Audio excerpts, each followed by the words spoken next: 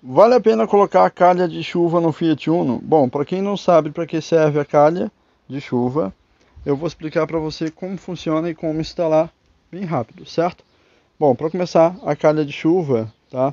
Ela é para você mais ou menos abrir o vidro do carro até aqui, ó, certo? Ó, tá vendo? Aí o ar entra, mas a chuva não, certo? Então, é, já que a gente sabe como funciona a calha no Fiat Uno, certo? É, como instalar? Bom, é bem prático, bem simples. Para você colocar a calha no Fiat Uno, tá certo?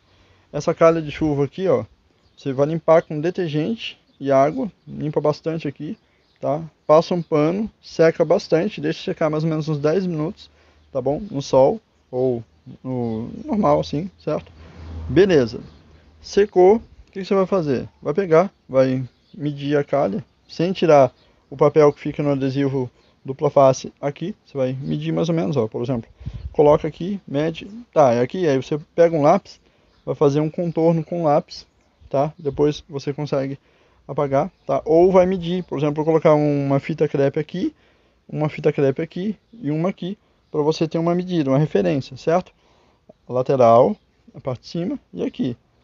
Feito isso, você tira aquele papel que fica na fita, tá? a fita dupla face, você vai tirar aquele papel, você vai alinhar aqui, tá? Alinha aqui, aí você vem, ó, vai fazer isso, é simples, ó, vai fazer isso, vem fazendo isso. Você pode ir fazendo assim, tá? Em alguns pontos, aí você vem e faz isso, ó. faz assim, até firmar, e depois daqui pra lá, vai até o final lá, ó. Bem simples. A hora que tiver bem, a hora que tiver bem firme, pronto, está instalado a calha de chuva no Fiat Uno. É isso, bem simples, bem rápido. Se você gostou, se inscreve, curte, compartilha. Até o próximo vídeo. Falou, tchau.